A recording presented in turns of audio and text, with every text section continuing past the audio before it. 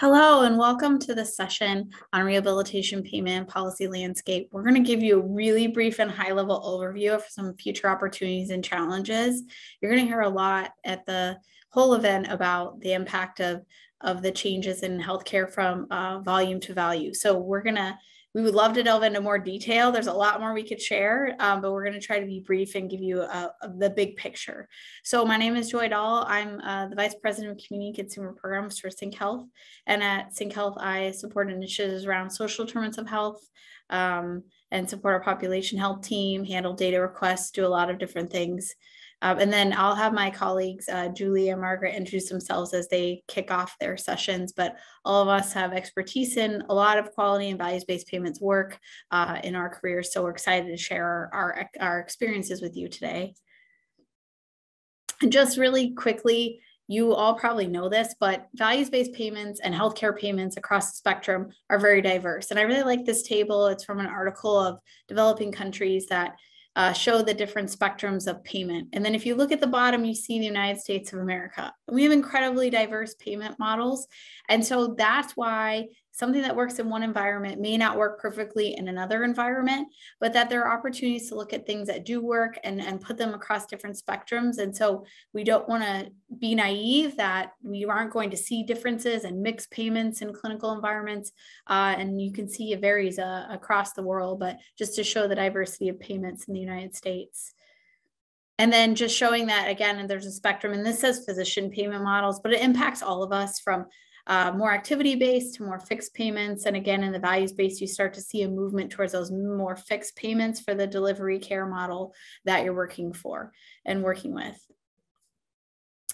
And then again, just shows again the difference of the business models. And so it's really important to understand when you think about the kind of opportunities and challenges around this is what is the payment models your wherever you work, or whoever you're partnering with that they're using what's the mix? How do they handle that? What are their risk-based contracts? And what's the business models around all of those? And so just again you're going to hear more but just that those this is really a foundation for this the challenges and opportunities we're going to talk about. So really briefly, I want to talk about the opportunities and challenges of the interprofessional team. I'm super passionate about teamwork. Healthcare is a team sport. And I really think that we have a lot of opportunity, and I've been able to help design and help work with clinical teams being in team based environments. And this comes out of uh, a, a high value primary care healthcare team. And I want you to look at this picture and notice who's missing. And therapy is missing from this visualization about the importance of teamwork. And teamwork has become the value based proposition for values based care. It doesn't work unless the team's collaborating, working together, and there's so much opportunity.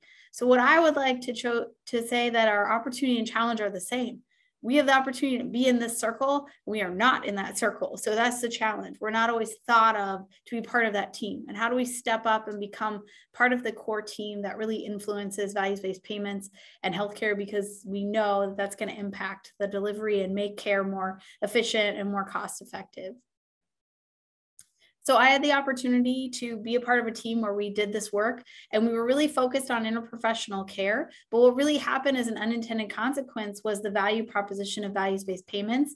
And this clinic where we did this work was the first one in our state to move to values based payments. And we've done several studies. You can look up our work, but we saw that really the, this approach of collaborative care and teamwork really helps you meet the quadruple aim. And that's such an opportunity. So improving patient experience, improving uh, and addressing burnout burnout and improving your team members' experience by working together, really impacting utilization of healthcare and uh, impacting the bottom line, which in a and what I want to say here about cost is when we started this work, it was fee for service.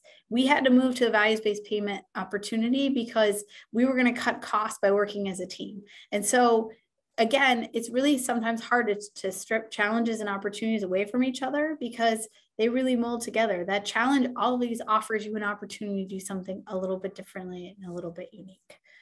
So that's a really high level, uh, just thinking really briefly about that. And I also want to challenge us to think as a last opportunity is that we think about healthcare delivery and innovation and the pandemic. We've seen the proliferation of telehealth, health IT, technology. How can we be a part of expanding and recognizing that these other infrastructures give us opportunities to team in different ways and how we can use that to be innovative and creative to make sure that uh, therapy and rehabilitation is part of the healthcare infrastructure that our patients need. All right, I'm going to pass off to Julie. Hi, my name is Julie Malloy, and I'm the Director of Quality at the American Occupational Therapy Association. And I'm sure many of you are familiar with the patient driven payment model in skilled nursing facilities and the patient driven groupings model in um, home health. Now, you're going to hear much more about this throughout this institute, but just wanted to talk a little bit about some of the challenges and opportunity that have presented themselves because of these payment changes. Um, you know, in the past, it was really easy for organizations to see the value in therapy and how it affected um, the bottom line and, of course, um, the care for their clients. Now, with the changes um, from payment for volume of therapy services to a more value-based payment models, bundled payment models, et cetera, there's really a shift in these environments. And that does affect the frontline clinicians um, as they're providing care. Um, you know, in the case of skilled nursing facilities, um, questions arose about, you know, individual versus group or concurrent therapy uh, in home health and, and also in skilled nursing facilities. Sometimes it was about the number of visits. So uh, maybe it was a little bit harder to get more visits for a client even when they needed them. Um, so things to think about as um, the payment environment changes um, throughout not just skilled nursing and home health, but throughout healthcare. Um, the other thing that's very important, of course, is quality reporting.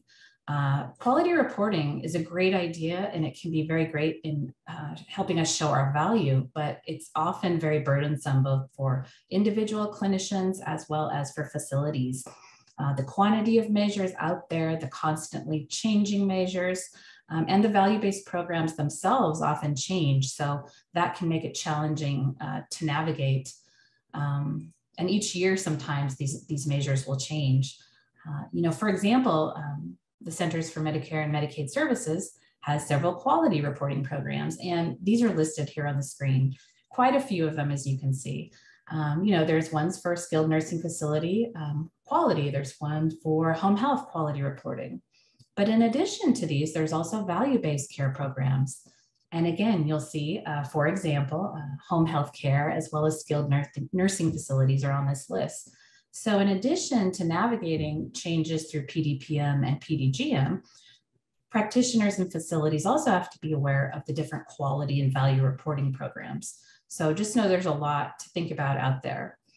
Uh, in order to also show how we're doing um, for therapy services, we need to be able to collect that data and share that data.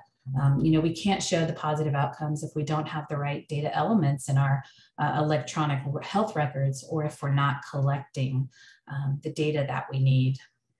Data uh, interoperability is also a huge topic right now. Uh, once we collect that data, how do we share that with payers, with um, the public, other environments. So being able to collect that data uh, will help us show our value. Um, will also help with research, will help with uh, moving forward with data interoperability. As in addition, you know, this value-based reporting, uh, it's a unique opportunity for us, as we've mentioned, to, to show our value. Um, but we really need those quality measures to show um, what our outcomes are, and also ways to address these through that interdisciplinary care, like uh, Joy was talking about. Um, as CMS is, you know, moving forward, they're really talking about digital quality measures and how we collect that data. So um, something else to be aware of. Uh, uh, digital quality measures, the plan is to have them in place by 2025, which is really just around the corner. Um, but by harnessing the health data uh, systems and research that many of you are participating in and, and, working to improve our data collection and reporting systems, we really do have a chance uh, to show our value um, to the complete healthcare system. And now I'd like to transition to my colleague, Margaret Rogers. Hi, I'm Margaret Rogers. I serve as ASHA's Chief Staff Officer for Science and Research. I'm going to be talking today about research and quality reporting. And uh, to begin, um, we're going to be looking at research and data that is needed to support the transition from fee for service to value based reimbursement systems. First, we'll focus on what types of measures and data are needed for what purposes and which audiences. And then how can we, how can measurement improve quality, access, and value in healthcare? So uh, the National Quality Forum has an ABCs of measurements, and they've asked questions. excuse me, they've asked questions such as how do patients know if their healthcare is good, how to pinpoint the steps needed to improve uh, patient outcomes, and how do insurers and employers determine whether they're paying for the best care. Uh, NQF uh, uh, looks at and endorses uh, prospective measures uh, through a process that um, includes evidence-based reviews and other, among other things. And the measures uh, represent um, really a critical component in the national endeavor to assure all, that all patients have access to appropriate and high quality health care. Um, basically, the measure, measures are developed to improve quality and standardization um, and for public reporting so providers and the public know what should be who should be chosen and what organizations want to engage with which providers. Regulation and monitoring, certainly fraud and waste, uh, need to be minimized, and then to value uh, and provide reimbursement and accountability. So priorities for measurement development uh, by quality domain include clinical care measures, as you can see here, that include outcome measures, system level measures, team-based measures, uh, safety, uh, medication safety, diagnostic accuracy, care coordination, assessing team-based care, uh, effective ways to use new technologies, and effective engagement in interprofessional collaborative practice. Patient and caregiver experience, patient-reported outcome measures are particularly useful in this domain, and um, uh, also then affordable care uh, looking at measures of overuse. Uh, there's also a move to go beyond uh, value-based purchasing to population health and prevention, not focusing so much on episodes of care, but on the long-term health of the society. Um, and in this uh, regard, you're looking at measures like life expectancy, well-being, et cetera. Um, the merit-based incentive system, which um, came into law in 2017, had four scorable MIPS categories, quality, promoting interoperability, um, improvement activities and cost, and um, measures approved by the National Quality Forum or from an approved qualified clinical data registry can be used for MIPS reporting. Uh, in 2022, uh, the uh, penalty for um, uh, not reporting um, or for being below uh, an, a, a, point in the um, national average would be uh, 9% from what was being paid. The uh, CMS and National Quality Forum uh, used the measurement triad from uh, Donabedian and um, that divides things into outcomes, process, and structures can be seen here in this um, um, uh, graphic. Um, and we'll dive a little deeper into this when we talk about how can measurement improve quality, access, and value in healthcare. Um, so to identify and develop meaningful outcome measures, uh, we want to be equitably evaluating clinician performance for outcome measures, and that requires careful evaluation of associated patient risk factors, age and comorbidity. It's been a challenge because of limited sample size and data availability to constrain the development of risk adjusted models. Uh, but a development of a valid risk adjustment model is a very high priority. Uh, we need to have this information so that we can build uh, predictive models uh, to look at the rehab potential of an individual patient based on historical data from similar patients uh, and to indicate which approach to intervention is likely to be most effective for a given patient in a given circumstance and of course to predict the resources that will be required to meet a goal. There are four essential elements uh, and there is research uh, a massive research within each of these boxes, uh, but uh, as an overview to estimate value and predict outcomes um, and uh, learning for quality improvement. So we need very carefully selected case mix data. And of course, you can see this as being very important because if we're tying reimbursement to uh, patient um, uh, diagnostic category, uh, DRGs in this case, or some version thereof, uh, we're certainly going to want to be able to separate those with um, a lot of uh, cognitive involvement from those that don't. That would fall under a case mix variable. Uh, we also want to be able to look at the services and the dosage and the intensity. Uh, we also want to look at outcomes across uh, activity, impairments, participation, as well as contextual factors of the International Classification of a Functioning. Um, and uh, last, of course, uh, cost.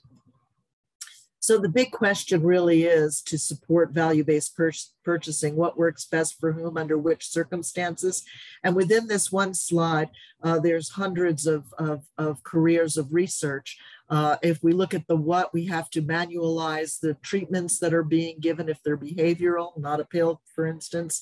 Look at the treatment fidelity and its ability to be implemented in a clinical setting to identify the active and essential uh, ingredients, mechanisms of action, when we're asking if it works, is it a valid outcome measure, and at what phase of intervention is it is it is it working, and a cost benefit analysis. Uh, we need to define success. Uh, that's whose perspective that is. That comes into talking with people who have the condition as well as clinicians delivering the services, and that all leads to comparative effectiveness research. Uh, and when we think about for whom, that's where we get back into the case mix risk adjusted data, diagnostic precision, and also looking at uh, not just the severity of a condition, but what other conditions, the complexity and comorbidities. And under what circumstances, one of the things driving CMS um, uh, vision for, for a, a learning healthcare system or the Institute of Medicine um, has been that uh, there's just different um, uh, uh, uh, results from different care settings. So when we look at how we can improve, uh, how measurement can improve quality of life, we we, we really look toward learning systems, a learning healthcare system can generate and then also apply best evidence in the collaborative healthcare choices and the hope was by 2020 that 90% of clinical decisions would be supported by this sort of information. And um, it's moving in that direction, clearly not there yet. Learning systems uh, will determine what works best for whom in which circumstances and what the value is uh, for given uh, services. Um, and uh, this is a very iterative system and it will um, uh, ideally reduce unwarranted practice variation, waste, and promote continuous quality improvement, improved outcomes, and improved value. Uh, and I will leave you with an age old thought from Lord Kelvin or Peter Drucker uh, you can't manage or improve what you can't measure.